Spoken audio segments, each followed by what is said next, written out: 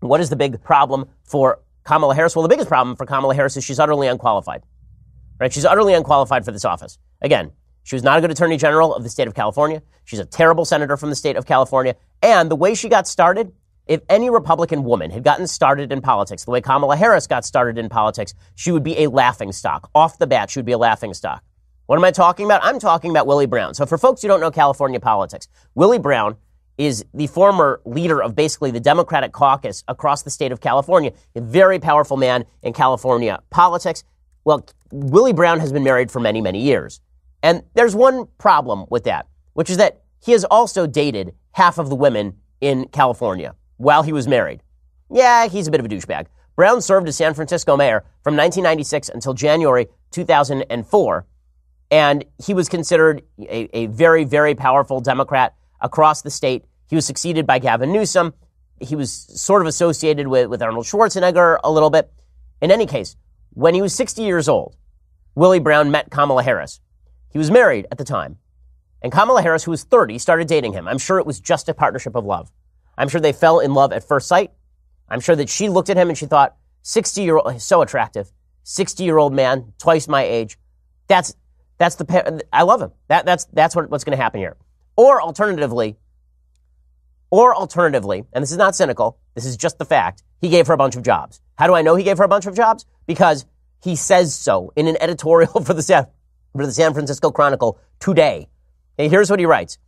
I've been peppered with calls from the national media about my relationship with Kamala Harris, particularly since it became obvious that she was going to run for president. Most of them I have not returned. Yes, we dated. It was more than 20 years ago. He was married at the time. He was 60. She was 30. Yes, I may have influenced her career by appointing her to two state commissions when I was assembly speaker. First of all, that's just an outright admission of corruption. That you were nailing somebody and so you appointed them to state commissions when you were assembly speaker? Like, how is that okay? I'm, just, I'm wondering. How is that not just blatant corruption? Of course, it is blatant corruption. By the way, both of those, both of those jobs were near six figure salaries for nothing, for doing nothing, except for presumably dating a married man. And then he says, I certainly helped her with her first race for district attorney in San Francisco. I've also helped the careers of, of Nancy Pelosi, Gavin Newsom, Dianne Feinstein, and a host of other politicians. Oh, really? Did you date them also? I missed the part where you were dating Gavin Newsom. I missed the part where you were dating him and presumably enjoying each other. And then you decided that you were going to help Gavin Newsom with his mayoral run. Missed that part. He says the difference is that Harris is the only one who, after I helped her, sent word that I would be indicted if I so much as jaywalked while she, while she was DA. Right, because she has to say that, because if she doesn't say that, then it looks like open corruption. Because that's politics for you. Wow, just, just amazing stuff. In a second, I'm going to explain why nobody in the media is going to pay attention. They're going to call it sexist if you mention this story. Right? If you, if you mention this story, it's okay. So the media are going to say that Willie Brown did something terrible by mentioning this, except for the fact that again, if any Republican ever had done anything like this, they would be a laughing stock. Let's say that, let's say for example, that Sarah Palin, when she was selected for vice president, it had come out that she dated George H.W. Bush while he was married to Barbara, and that he made sure that she got her start in Alaska politics. You think that might have been a bit of an issue for her for her VP run? You think? Or no? If it turned out that Nikki Haley, for example, had gotten into politics by dating a man twice her age who then gave her political favors, you might think that'd be used as a club by the media. Yeah, I think so. Unless you think that this is a sexist thing, it is not. You know how many times I have mocked J- John Kerry? John Kerry former 2004 candidate and Secretary of State. I've mocked him one million times for having married Teresa. He married one rich woman and then divorced her and then married another rich woman and then lived off her fortune.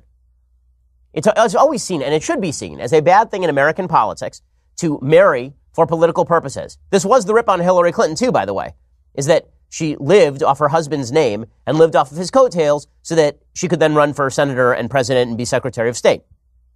Kamala Harris is not a feminist icon if she was dating Willie Brown so she could get appointed to a bunch of positions while he was married, by the way. I know that we, I know we gloss over this in American life now. On both sides, in both political parties, we have ignored the idea that adultery is bad. I know that Republicans now think, oh, well, you know, it happens because of President Trump. And I know that Democrats have been doing this routine for literally decades, that since the era of JFK, whatever. So they commit adultery. It's kind of bad when you are the other woman to a married man who is then providing you with giveaway jobs in the California state government. That's kind of bad. Now, nobody's going to attack her on this because if other Democrats do, then she will claim sexism. President Trump might because President Trump has no limits. One of the beautiful things about the man is that he will say anything at any time. But should that be an issue? Of course, that should be an issue. It is obvious, overt corruption. And she should have to answer questions about that. And she shouldn't be able to shy away with, with answers like, oh, yeah, I fell deeply in love with Willie Brown when he was 60 and I was 30. Eh, yeah, that's, that's a thing that happens all the time. I know lots of 60 year old men. You know how many of them who are, you know, kind of middle class schlubs who aren't powerful men in politics are getting 30 year old up and coming law student girlfriends? Tons of them. Tons. Just it happens all the time.